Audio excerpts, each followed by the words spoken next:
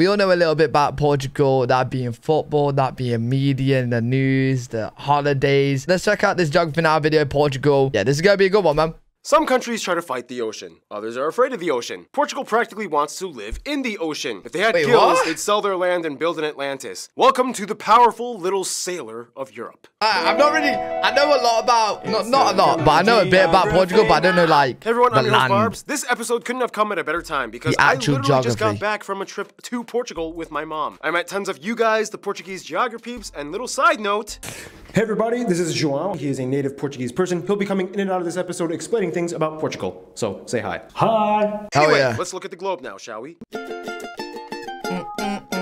Portugal is sometimes called the door to Europe. It's the start to the mainland. The Portuguese are ocean people. They need to be close to the sea. They get uncomfortable without it. With that in mind, their country is pretty ideal for them location-wise. Portugal, the rectangle shaped country, is Right next located to the at the sea. very end of the Iberian Peninsula, surrounded by Spain on all three sides, as well as two island regions in the Atlantic. They have the westernmost point of continental Europe, Cabo da Roca, and the westernmost point of Europe's domain, the island of Santa Cruz das Flores. Important note Portugal has one of the oldest borders in Europe and one of the oldest in the world, very much thanks to this treaty signed between these two kings back in Cool. 1297. The Spanish and Portuguese have always usually had amicable relations in regards to their You know. I'm actually surprised. Like the amount of times I've been to Spain and Spanish islands. Yeah, I'm not. Never been to Portugal. The only kind of dispute they have is over the town of Olivença. This is not an official dispute, but most Portuguese believe that it kind of probably should be theirs because of history or something. Look it up. For what it's worth, though, there's even a spot where you can zip line across this river from Portugal What? into Spain and travel forward one hour in time because for some reason Portugal decided to follow the UTC plus one zone instead of plus two like Spain, meaning that even though Galicia is on the same longitude, they are one hour ahead. How? Anyway, the country is divided into 18 districts That's and so two weird. autonomous regions, the Azores and Madeira Islands. These two island regions give a huge boost to Portugal's exclusive economic zone by over 1.7 million square kilometers, making it the third largest EEZ in the EU and the 20th in the world. The capital is Holy Lisbon, and of course it holds the largest airport, Lisbon International, as well as the largest shipping port, the Port of Lisbon. The second largest city is I love these videos when they do the maps by like Vila this. Nova de Gaia. However, Porto actually holds the second busiest airport, and Faro in the south rounds out for third place for airports as well. Remember, even though these little uninhabited guys known as the Savage Islands are closer to the Canary Islands of Spain, they actually belong to Portugal and make up the southernmost Right. part of Portugal's domain. One of which Cool. right here, Pontinha, is actually a self-proclaimed micronation What is purchased by some art teacher dude who bought it and then later claimed independence from Portugal in 2007. Keep No in mind, these overseas way. regions, in addition to the Canary Islands and Cape Verde, are part of a larger oceanic region known as Macaronesia, not to be confused with Micronesia, which is Bro, can I just say this geography now edit is so sick. You know how like he's just moving around the globe and stuff. Oh my god, I'm loving it. world. Yeah, that micronation island thing. That's a weird one. Look it up. They kind of have Yeah, all they need in that weird. small space as long as they have the largest portion of the Atlantic coast on the Iberian Peninsula. This is kind of what allowed them to become the front runners in the age of discovery and European expedition years. Most of the first and famous explorers you've probably already heard of, Magellan and Vasco da Gama, they come from Portugal. Ahem. Yeah, yeah, yeah, you guys took the Arctic and Vinland like hundreds of years earlier. For what it's worth though, It's important to note that historically, not only were the Portuguese the first to kick off the age of exploration with the first discovery at the Azores and Madeira Islands, but they also had a vast empire at one point expanding across five continents as far as East Timor Oh, to shit. Brazil and everything What in the between. fuck? The problem was, with the exception of Brazil, Angola, and Mozambique, the Portuguese really only kind of maintained numerous ports and coastal colonies that didn't encroach far inland with the connecting land masses. Their love of the ocean kind of ended up diminishing much of their land claims, and the majority of the ports were either fought over and lost or sold to other colonial powers. Wow, the they've really loved the 19th ocean, don't they? Nonetheless, outside of the sovereign Portuguese-speaking countries today, you will see small remnants of Portuguese influence in places like China's special autonomous region of Macau with its Portuguese Man, you don't realize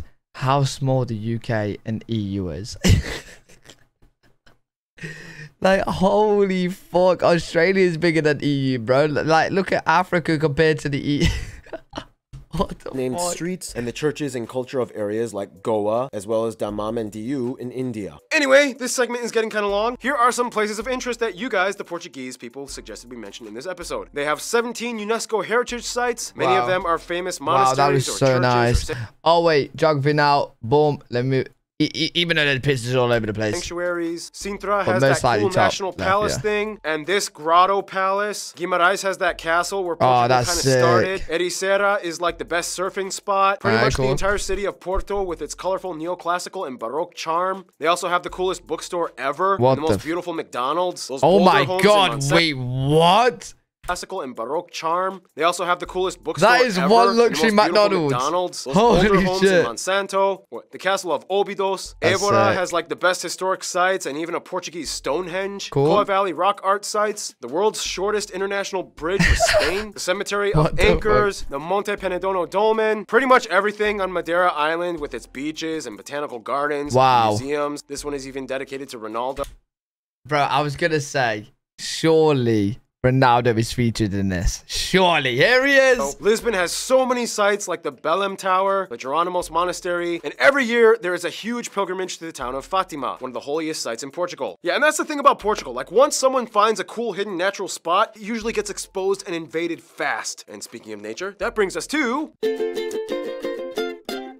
Now, as mentioned, Portugal is an ocean loving country that Right. loves the sea and water. Nonetheless, the actual people do need to kind of live on land and like grow food on it and stuff. Of so, course. yeah, there's this is how you break it down. Portugal's land makeup, of course, is made up of the two main parts that fall under Portuguese sovereignty the continental Portuguese landmass on the Iberian Peninsula, and the two island regions of the Azores and the Madeira Islands. The continental part of Portugal is located on the Eurasian plate, close to the convergence of the African plate. Geologists speculate that there could be a newly emerging rift which could explain some of the seismic activity, such as the Great Lisbon earthquake of 1755 that nearly destroyed the entire city on Oh, Saints Day. Look it up. Anyway, the northern parts are generally more fuck? mountainous and hilly with two main mountain chains, the northern Meseta Mountains and the Serra da Estrela, which has Torre, the tallest point on the mainland. However, if we're talking about the tallest point in the entire country, that actually belongs to Mount Pico on Azores Island. Back to the mainland though, the country is shaped by three main rivers, the Douro in the north, the longest river of the country, the Tagus or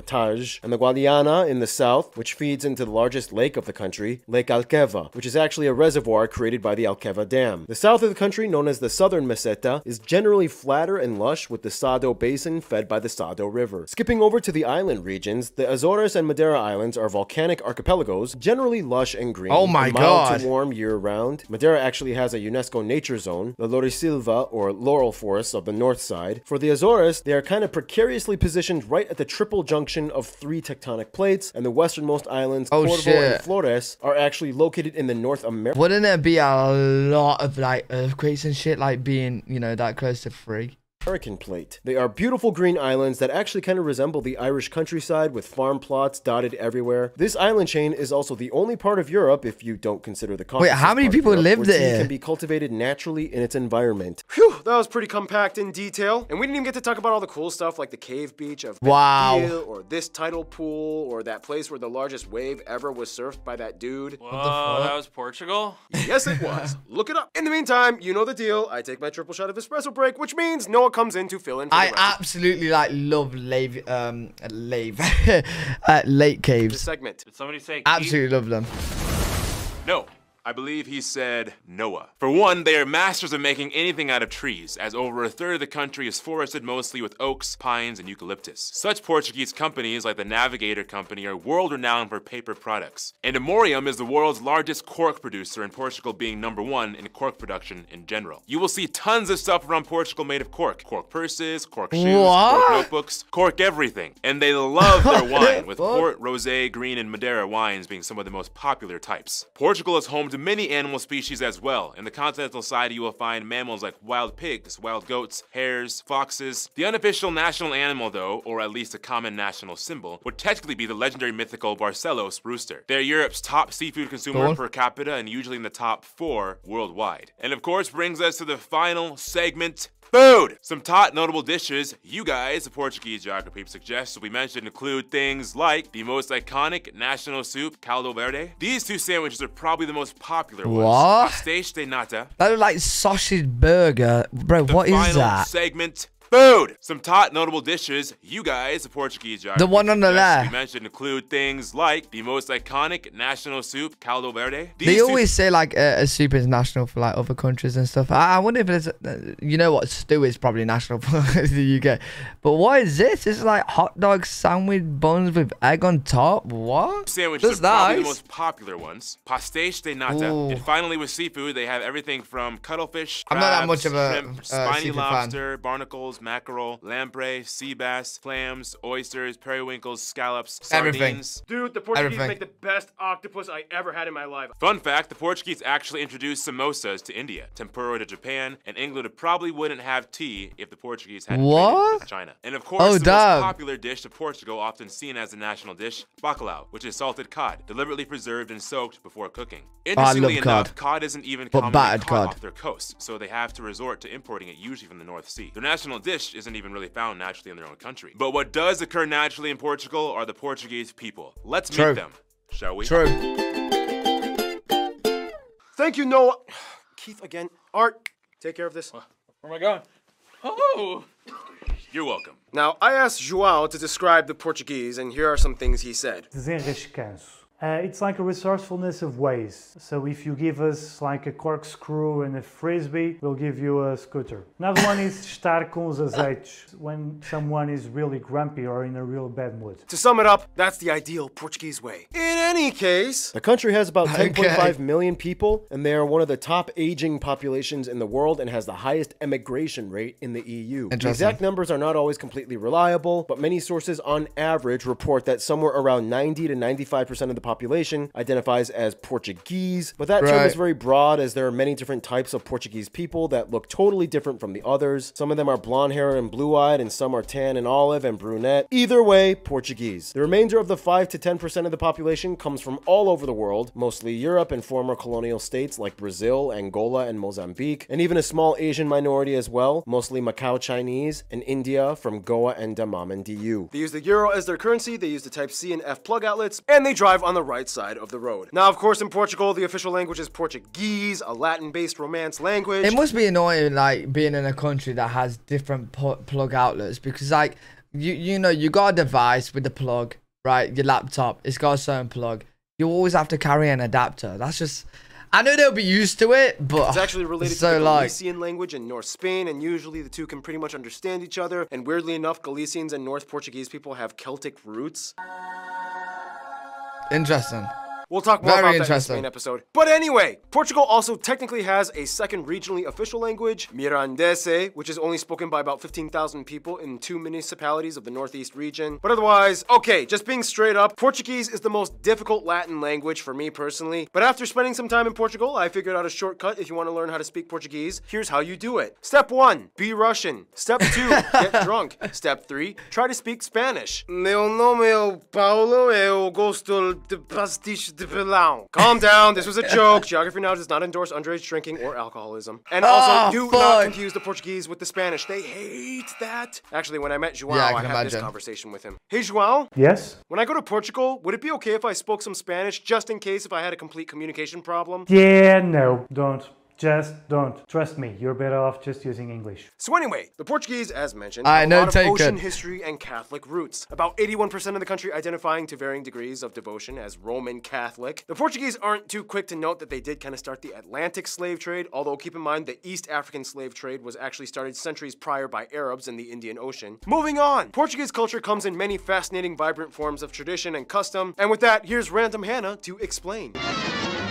Portugal today is a very distinct nation, but if you dig close, you can see the layers of influence from groups like Phoenician, the Celtic, Germanic, Visigoth, Viking, Sephardic, Jewish, and Moorish people. Yeah, even Cool. Vikings. And don't you forget it. Of course, as intrepid maritime folk, the Portuguese were the first to invent galleon ships that launched off the age of discovery for Europe, post Viking era. With that, they also created the first forms of Western style nautical cartography and navigation. It would later be taught taught and used across the Some sort of continent. compass? One guy even tried to pioneer one of the first airship designs. Although What? Portugal may not be well known for their painters or graphic arts, I mean, this dude went crazy and burned every single one of his paintings except one. They definitely have a tradition of three-dimensional would you do expression that? that dates back centuries. Distinct Portugal styles include things like Manueline architecture of the 16th century, and even today, people like Bordalo II continue the tradition of three-dimensional art. Fun Cool. fact, you can probably guess a home is Portuguese if the exterior walls have tiles on them, and often blue pattern tiles. They have their own unique Portuguese sport, where you have to knock off a pin with metal discs in varying weights and sizes. Nonetheless, no shocker, soccer or football is the most popular sport with course. their oldest club dating back to 1893 in Porto. Their national team has consistently ranked high in FIFA standings. We all know Ronaldo is the most mainstream, noteworthy face of Portuguese football today. I mean, the guy has multiple statues of himself. The legendary Eusebio is considered one of the greatest football icons of all time and the symbol of the nation's sport. Festivals, of course, adorn the entire nation from north to south, many rooted in Catholic tradition. June is a huge month where the festival of the three what? saints take place all over the country, honoring St. Anthony, John, and Peter, where there's a lot of wine and Cool. sardines with fireworks. There's also many unique regional festivals like the Festa de Coco, in which they do fun dragon Huh? slaying performances.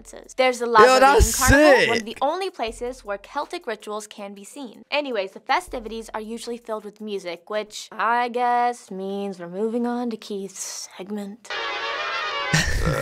All right. Starting as early as Gregorian chants in the medieval ages, evolving into the classical era, and eventually the winning music guy. Eurovision, Portugal has had lots of musical accolades. And there's a certain word that kind of describes the overall feeling of Portugueseness when it comes to music. Saudade. Saudade. It translates to something like a sense of melancholy and longing as if something were missing. Uh, this type of mindset is one of the key elements that inspired the most famous of all Portuguese musical genres, fado. It's even listed as a UNESCO heritage trait. The most recognizable name with fado being Amália Rodrigues. Never Listen to it and see what you think. Portuguese have their own version of guitars, drums, accordions, even bagpipes. The ukulele The thing with the Portuguese, what I've noticed is they, they like to do things their way and differently. They they like to be unique with things. Hawaii was actually introduced from the Portuguese migrants, mostly from cool. the Azores and Madeira Islands, where my ancestors are actually from. Fun fact. Today, the Portuguese music scene has everything from mainstream hip hop, rock pop, metal, Moonspell being one of the more popular metal bands from Portugal. Uh, one time I saw Moonspell at I think it was Ozzfest. I don't remember. Moonspell is awesome. And thank you, Keith. All right, and with that, we got to move on to the incredibly condensed history section. Proto-Iberian cultures, Indo-European migrations, Atlantic Bronze Age, Lisbon founded, Phoenicians, Proto-Celts, Rome comes in, Christianity, persecution of Christians, Visigoths, I swear everyone's had a bit of everyone. Vikings come in briefly from the North parts. Fighting, Like, fighting, when you go back to history, get the first king everyone's had a taste of everyone, man. Uninhabited Madeira and Azores Islands discovered. Age of Discovery kicks off. Atlantic slave trade. Colonies established. Inquisitions. Great earthquake of 1755. Napoleon years. First constitution. Last monarch deposed. Republic. World War One joins Allied forces. World War Two gets messy. Salazar begins his reign. Colony wars in Africa. Colonies gain independence, but Timor is still on hold. New constitution joins EU.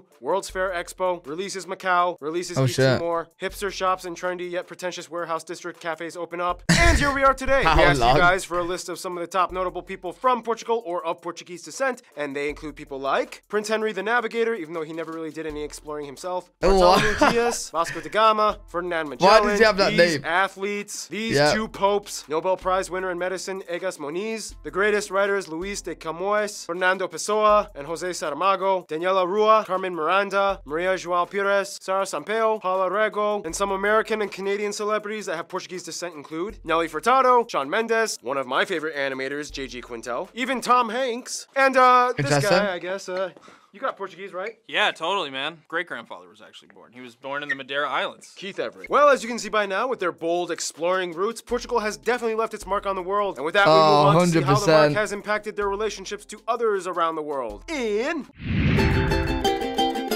Well, you know, the Portuguese and the British, they don't really have a good. Well, actually, we have an amazing relationship. But back in the day, when Portugal knocked us out from the World Cup and Euros, you know, a couple of times, you You know, we Yeah, kind of Portugal clashed is on the kinda like the smallest terms. nation that left the biggest legacy. Over 30 times more people than the population of Portugal across the world speak Portuguese than in Portugal. Oh, for Oh, one, they have the what longest fuck? official alliance between two countries on Earth with the UK. Forged in 1373, they have been working alongside the British for a long time and have developed numerous bilateral policies and trade deals. Long story short, the Portuguese introduced tea to the British, and the British helped them get cod. For France, Sick. Portugal is kind of like the lean Latin boy next door who keeps trying to flirt with France, even though she's kind of dating Germany. There are more Portuguese people living abroad in France than any other nation at about 2 million. The Portuguese Oh love the French. They enjoy the laissez-faire culture and charm and have integrated very well into French society. The Portuguese were the first Europeans to have encountered the Japanese, and much of the historical interaction reverberates to this day culturally. I mean, they founded the port city of Nagasaki, and even the word arigato is derived from the Portuguese word obrigado. Even when Japan was isolated, they traded for centuries, only with the Portuguese. Even though things got fuck? Messy in the 60s and That's 70s, sick. they still have close ties to their former colonies, especially Brazil, Angola, and to some extent Mozambique. Many of these people have recently moved in on separate migration waves, and today you can see many of them in major cities like Lisbon and Porto. Billions of dollars are traded with Angola annually, and Portugal even canceled Mozambique's remaining debts from independence to 2005 Oh, at nearly 400 million dollars. Brazil is their biggest legacy. It's like the sun they fed steroids and became a massive giant bodybuilder. Today, the Brazilian dialect of Portuguese is more widely taught and distributed in media than actual Portuguese Portuguese, and even after independence, the two have shared a privileged family bond that will always have high favor towards the other. For what it's worth though, when it comes to their best friend, most Portuguese might begrudgingly hate to admit it, but they kind of at the end of the day will always walk side by side with their oldest friend, Right. Spain. Portugal was actually the first nation that fully emerged out of the Iberian Peninsula back when Spain was a bunch of disjointed kingdoms. Since then, they've been rivals and adversaries. During colonial years, they competed to see who could take over the Americas better. They've had centuries of conflict and treaties, alliances, unions, arguments, but in the end, they just have that Iberian culture and Latin root that ties them in so closely as brothers. In conclusion,